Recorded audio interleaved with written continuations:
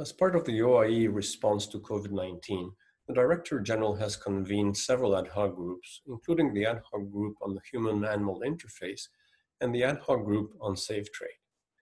The objective of the group on safe trade in animals and animal products is to ensure that trade continues uninterrupted, which is critically important in these difficult times. To do that, the group reviews current scientific knowledge and existing risk assessments to provide guidance to member countries. The group is formed by virologists, risk assessors, epidemiologists, and decision makers.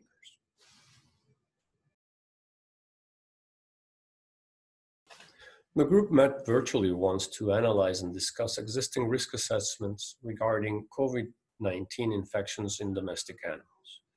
Even though there have been a handful of infections in cats and some dogs, all infections to date have been from infected humans to animals and not the other way around. We also looked at information regarding the susceptibility of other domestic species. The conclusion of the group is that the role of animals in the epidemiology of COVID-19 remains negligible.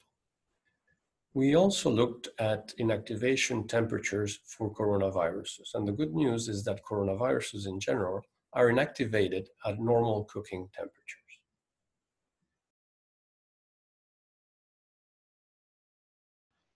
We are holding an electronic consultation to provide guidance to member countries on the application of sanitary measures.